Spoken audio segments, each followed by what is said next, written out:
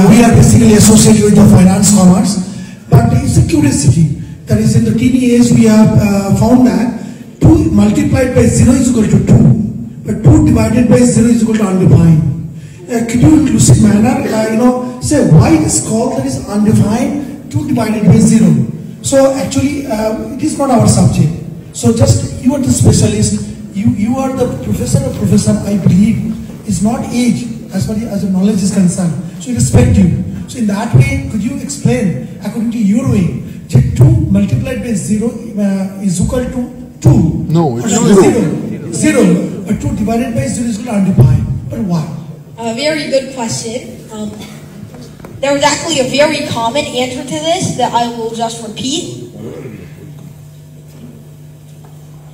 So, for example, if you think about numbers as they get smaller, like for example, let's say we have 2 million. If we divide it by 1, this will give us 2 uh, wait, if we divide this by 1 million, we will get just 2, right? But if we divide this by 100,000, then we will get 20. If we divide this by 10,000, we will get 200. If we divide this by 1,000, we will get 2,000, and so on. So as we get smaller and smaller, once we get to 1, we will get 2 million. And as the denominator gets smaller, the answer only gets larger and larger. So theoretically, the answer should be infinity, right? But really, then comes the question of what we call in math cardinality. I'm sure a lot of the pure math students here have heard of this.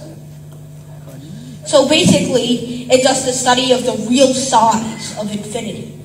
So, if this is infinity, what is 1 over 0? What is 2 over 0? What is 3 over 0? Are they different from one another? Should one be bigger than the other? What is 2 times infinity? Is 2 times 2 over 0 4 over 0?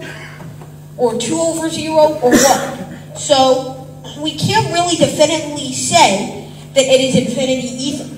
So, instead we just leave it as undefined.